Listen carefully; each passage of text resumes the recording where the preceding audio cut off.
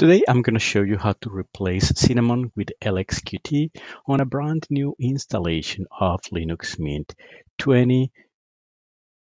We'll start by installing Linux Mint. Installation is finished, time to restart the computer. So we start Linux Mint and we're ready to start using our new system. And we have our brand new Linux Mint. In a nutshell, what we're going to be doing, we're going to be installing what we want, which is LXQT. I prefer OpenBox. Normally, the, the LXQT package installs the XFCE components. I prefer to be a little bit lighter, so I will have OpenBox, the OpenBox configuration, the Compton compositor, uh, I know that may seem an overkill for a light system. You may or may not install it. I like to install it because I like the transparency.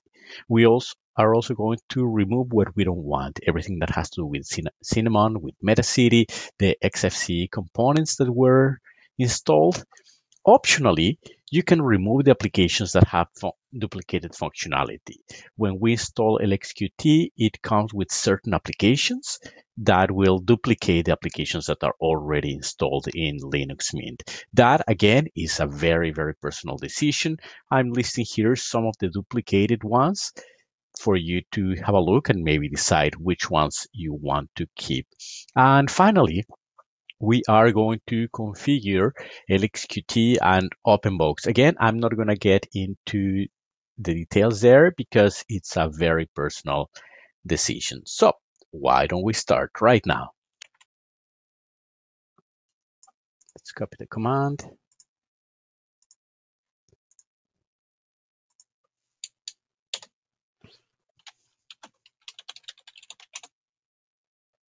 And you will see here it installs a lot of applications.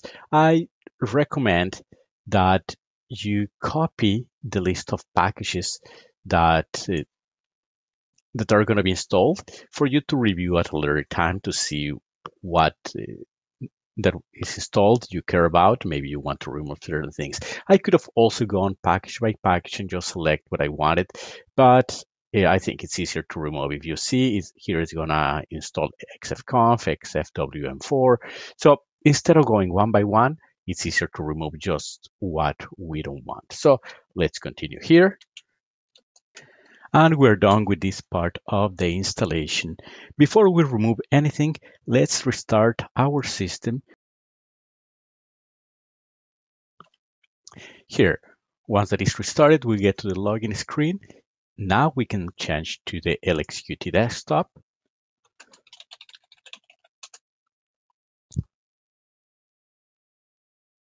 And we say that we're going to use OpenBox as our window manager. And we have our new system up and running. It seems that it's working well. So now it's time to start removing the components that we don't want. We copy the command again. Let's open a console.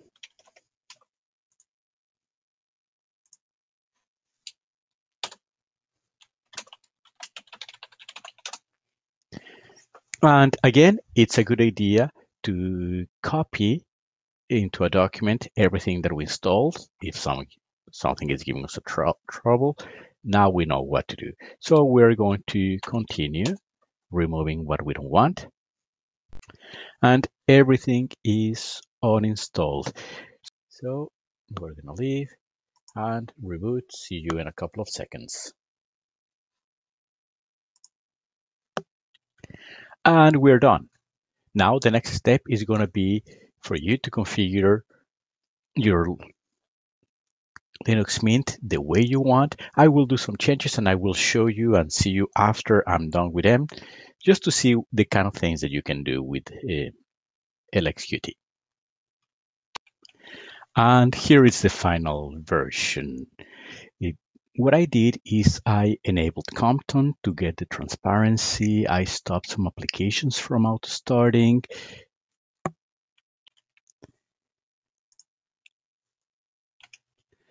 I added Meteo to show me the, the local weather.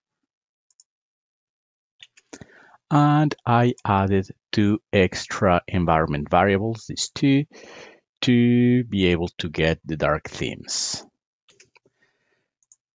For the panel, I obviously moved it to the right. I so I, I, I moved it to the right. I changed the background color to be transparent and I overrode the icon theme to be mint white dark. I removed the widgets that I didn't like. For example, the keyboard state indicator. I moved the show desktop down. I removed the quick launch because I moved it somewhere else. I removed the leave button that was there and the quick launch where it was. I configured the desktop switcher to have two rows and so we could move so I could move horizontally my desktops. I lowered the opacity of the background and what else? Ah, on the menu, I change the configuration to clear the search on showing menu. So when I start typing something here,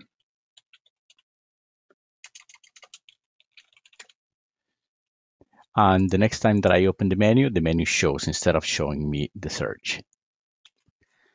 I configured the task manager to show me only the icons and to use the icons by window class. I think that they look better and I added a new panel at the bottom uh, where I just increase the size of the icons, align it to the center, select it to auto hide, don't reserve space on the display, lower the opacity of the background. So here we can see the, the configuration, lower the opacity of the background, and add a quick launcher with applications that I use the most. And of course, I set up the length here to be able to be just as wide as the applications that I have.